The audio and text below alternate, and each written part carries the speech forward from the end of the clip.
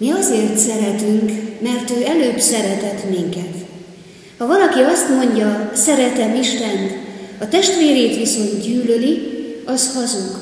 Mert aki nem szereti a testvérét, akit lát, nem szeretheti Istent, akit nem lát. Azt a parancsolatot is kaptuk tőle, hogy aki szereti Istent, szeresse a testvérét is. Kegyelem nékünk és békesség Istentől, a mi atyánktól, és az ő szent fiától, az Úr Jézus Krisztustól. Amen. Az a szent ige, amelyről Isten szent lelkének segítségül hívásával és várásával szólni kívánok, írva található a május 17-ére előírt új szövetségi igerészben, a Máté írása szerint való Szent Evangélium 6. részében, a 9. verstől a 15. versig terjedő ige szakaszban. Ti azért így imádkozzatok. Mi atyánk, aki a mennyekben vagy, szenteltessék meg a te neved. Jöjjön el a te országod, legyen meg a te akaratod, amint a mennyben, úgy a földön is. Minden napi kenyerünket add meg nekünk ma, és bocsásd meg védkeinket, miképpen mi is megbocsátunk az ellenünk védkezőknek. És ne vigy minket kísértésbe, de szabadíts meg a gonosztól, mert tied az ország, a hatalom és a dicsőség mind örökké. Amen. Mert ha az embereknek megbocsátjátok védkeiket, nektek is megbocsát mennyei atyátok. Ha pedig nem bocsátotok meg az embereknek, atyátok sem bocsátja meg a ti védkeiteket. Eddig az írott ige, legyen érte áldott az Úr neve. Kedves testvérek, még kisgyerek voltam, talán 5-6 éves lehettem, és visszaemlékszem, nagyon szerettem megállni az éjszakai égbolt alatt, és gyönyörködni a csillagok sziporkázó, hunyorgó fényeiben. Nem foglaltam szavakba dicsőítő imáimat, de valamiféle szent állítatban az az öröm töltött be, hogy lám milyen hatalmas az Isten, aki ilyen végtelen szépséget alkotott, és milyen csodálatos, hogy őt mi is mi atyánknak nevezhetjük. Isten tisztelet volt ez, őszinte lelki hódolással. Bár felnőttként is tudnánk mindig így, ilyen ihletettségben imádkozni, ezzel a gyermeki érzülettel, akár szavakban, akár szavak nélkül. Nem erőlködve, nem kötelességérzetből vagy megszokásból, nem szükségtől szorongatva, nem azért, mert a liturgia megköveteli, vagy mert ezt várják el tőlünk, hanem bensőségesen, olyan természetes, személyes kapcsolatban, bizalommal, ahogy a gyermek áll meg édesatja előtt. Mennyi hazug imádság hullhat és koppanhat az Isten trónusánál, amikor csak szavakat dobálunk, hidegen, fagyosan, lélek nélkül. A kijelölt igerész a Bibliát nem vagy ritkán olvasó emberek előtt is ismert, hiszen a mi atyánkkal, mint imádsággal mindenki találkozott már. Jézus, amikor imádkozni tanított, akkor adta ezt mintául, hogy ezzel hangolódjunk az Isten akaratára. Egy egész ige hirdetés sorozatot lehetne elmondani a mi atyánk egyes mondatai alapján. De most csupán arra szeretném irányítani a figyelmet, amire Jézus is nyomatékot tett az imádság után elhangzó mondatokban. Mert ha az embereknek megbocsátjátok védkeiket, nektek is megbocsát mennyei atyátok.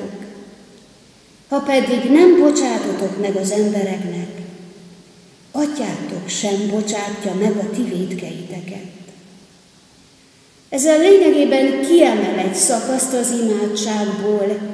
Tudni illik azt, hogy bocsásd meg védkeinket, miképpen mi is megbocsátunk az ellenünk védkezőknek. Jézus tudja, hogy a harag, a gyűlölet, az indulat, a másikra való neheztelés megmérgezi az életet, és megkeményíti a szívet.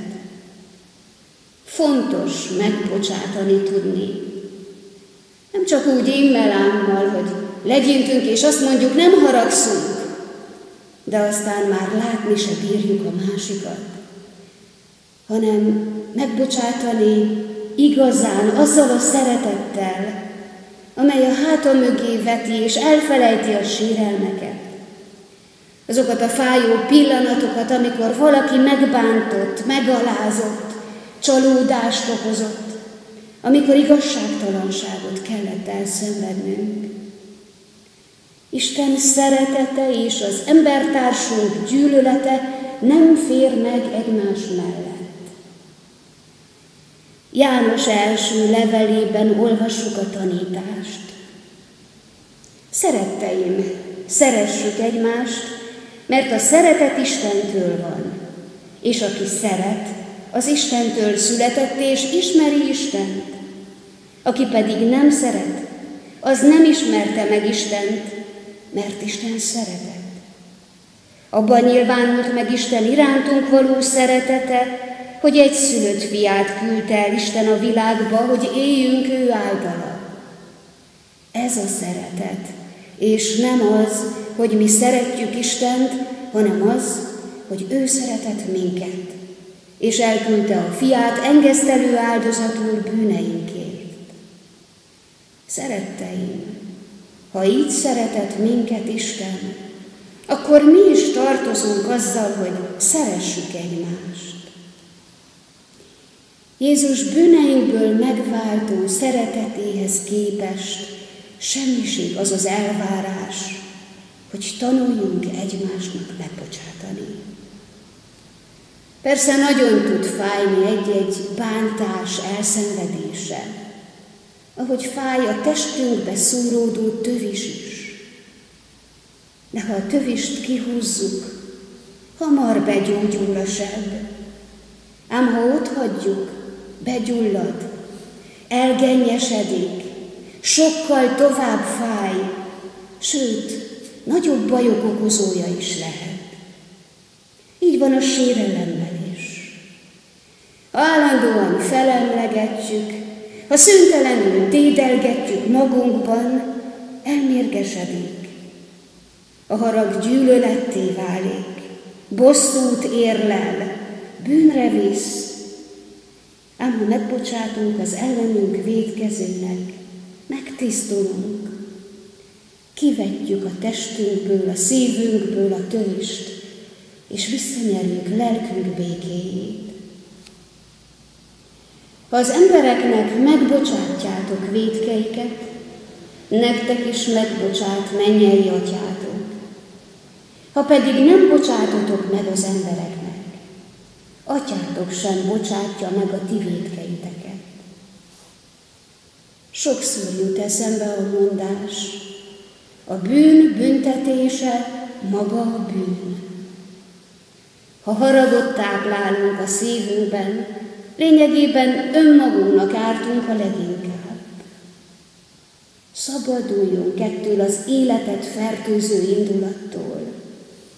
Bocsássunk meg egymásnak, hogy imádságaink ne váljanak hazugsággá az ajkunkon, hanem úgy fordulhassunk a szeretet Istenéhez, mint az ő szeretetben élő gyermekei, akik a Szentlélek által igazán mi atyánknak szólíthatjuk őt, és bizalommal kérhetjük. Bocsásd meg a mi védkeinket, miképpen mi is megbocsátunk az ellenünk védkezőknek. Amen.